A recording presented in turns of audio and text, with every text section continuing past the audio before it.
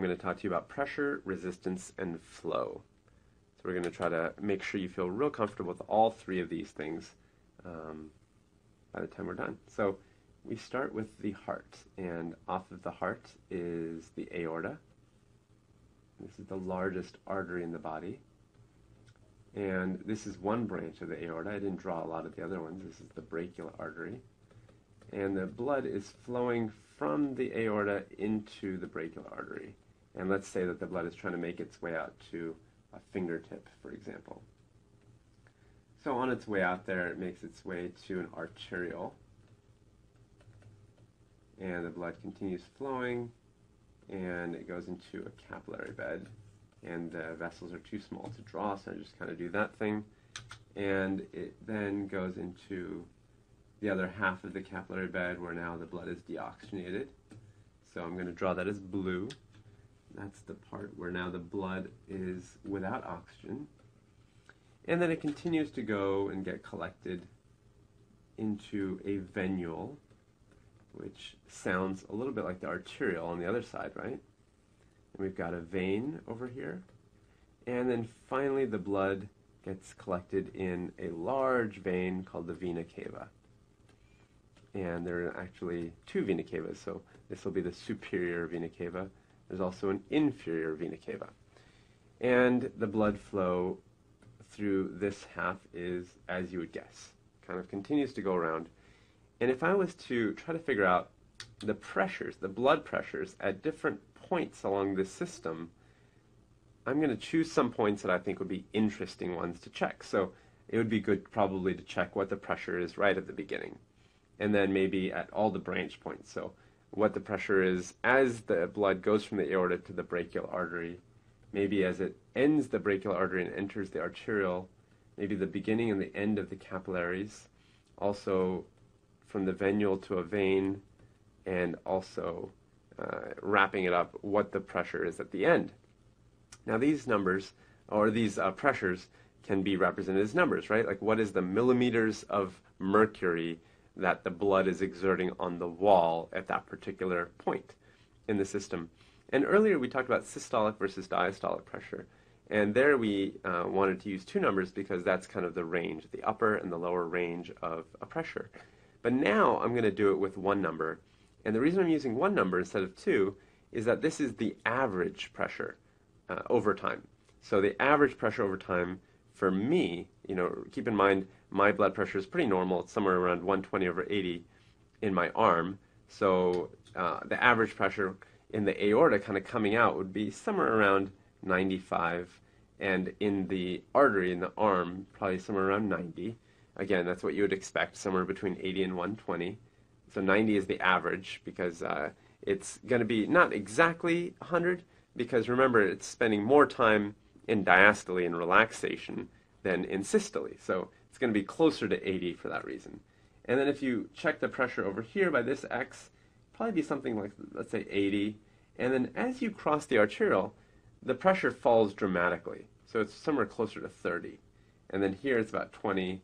Here it's about 15. Let's say 10 over here and then at the very end, it's going to be close to a 5 or so. So here, let me just write that again, 10 and 5. And the units here are millimeters of mercury, so I should just write that, pressure in millimeters of mercury.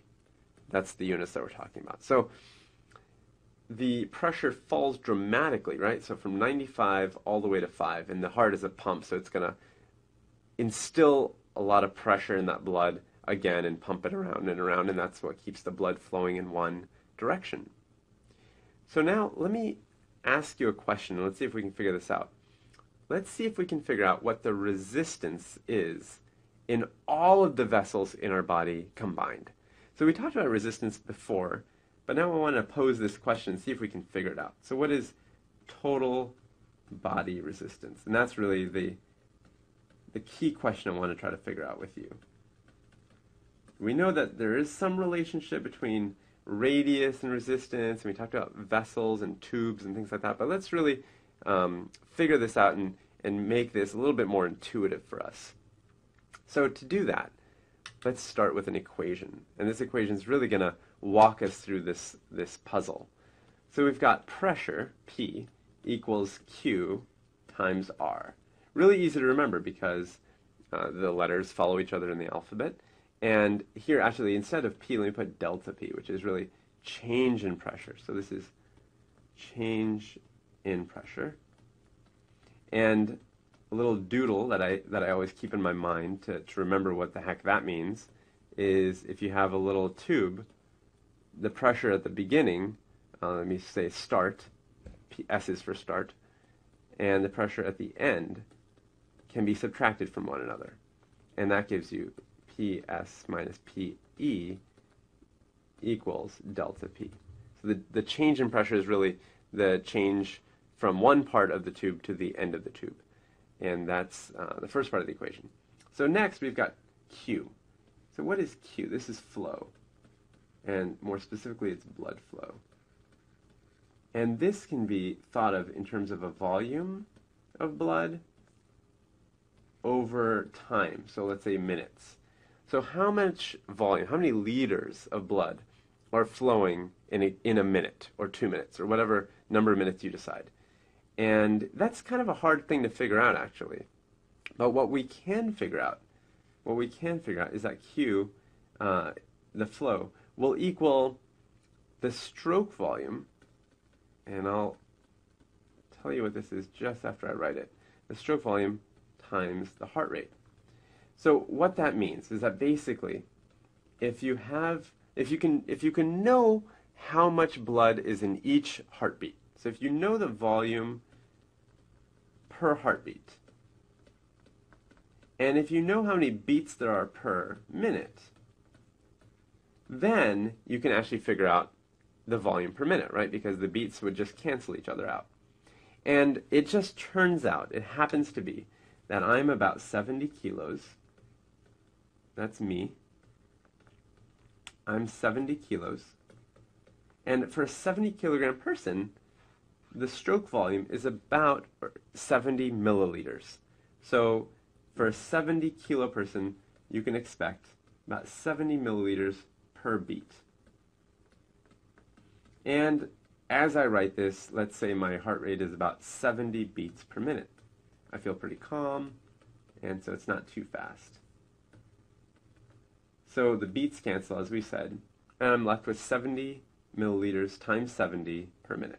So that's about 4,900 milliliters per minute. Or if I was to simplify, that's about 5, I'll say about. So the flow is about 5 liters per minute. Okay, so I figured out the blood flow and that was simply because I happen to know my weight, and my weight tells me the stroke volume. And I know that there's a change in pressure, we got to figure that out soon. And lastly, this last thing over here is resistance.